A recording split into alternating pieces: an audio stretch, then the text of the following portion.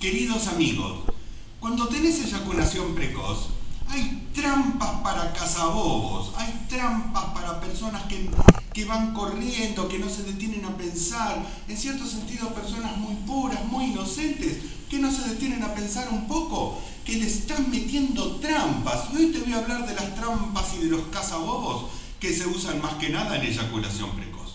La primera ya te la hablé un millón de veces, son los antidepresivos.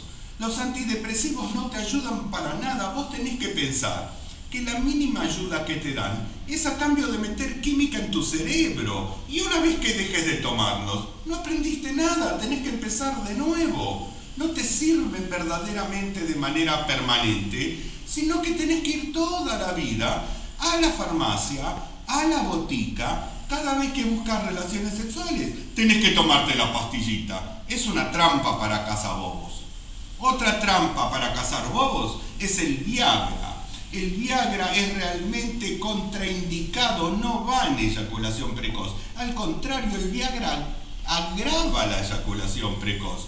Si bien te da la posibilidad de tener una segunda relación, de una, segunda penetración y una segunda eyaculación, cronifica eso de terminar rápido en la primera. Y después cuando tengas 30 años y la segunda relación no puedas hacerla, vas a tener que tomar Viagra toda la vida, de nuevo vas a tener que ir corriendo a la farmacia.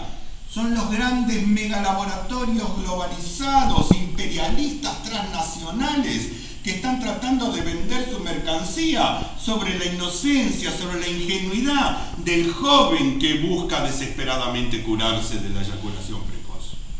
La otra trampa para cazabobos, la otra trampa fatal, son los famosos ejercicios de Kegel que no sirven para nada. Ya hice como 20 videos sobre este tema que te recomiendo ver. Los ejercicios de Kegel agravan la eyaculación precoz. Para no eyacular rápidamente, tu cuerpo tiene que estar relajado, tu cuerpo tiene que estar tranquilo, tenés que estar sereno haciendo pranayama. Al tensarte, al tratar de fortificar el músculo, te pones más nervioso y eso te hace eyacular al contrario, más rápido.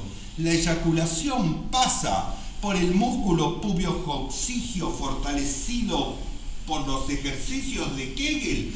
Pasa igual que una bala por una malla de tenis. El músculo no puede retener la eyaculación por más fuerte que sea, porque por más fuerte y más tenso que esté, la eyaculación es mil veces más poderosa.